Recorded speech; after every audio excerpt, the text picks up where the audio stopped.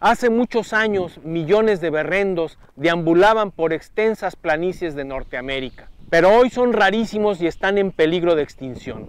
En este desierto del Vizcaíno, en Baja California Sur, sobreviven los últimos berrendos peninsulares. Es precisamente aquí, en estas soledades, en donde hace 20 millones de años evolucionó un extraordinario mamífero, el berrendo. Es un velocísimo animal típico de los desiertos de Norteamérica.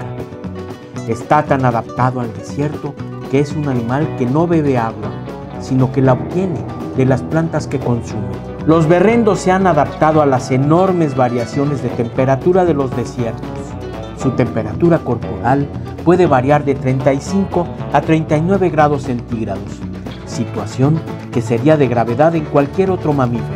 Su pelaje también es especial, puede erizar el pelo como sistema de enfriamiento corporal.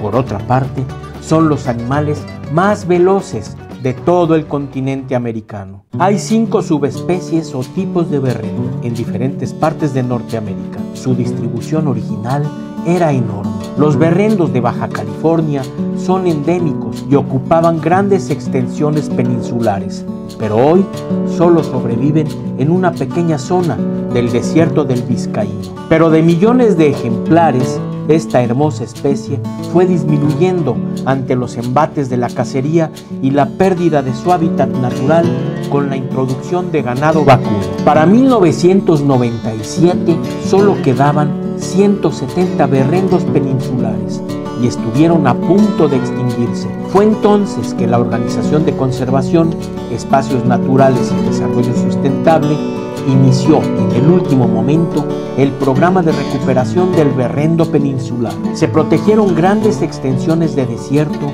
y aquí ha empezado a renacer esta especie. Cada año, nuevas crías representan una renovada esperanza para una especie no solo hermosa, sino que forma parte del ecosistema desértico. Sin berrendos, paradójicamente, el suelo se endurece y tendría todavía menor cobertura vegetal. Hoy el futuro del berrendo peninsular depende de los esfuerzos de gobiernos y organizaciones civiles, pero también del entendimiento y comprensión de la gente en general.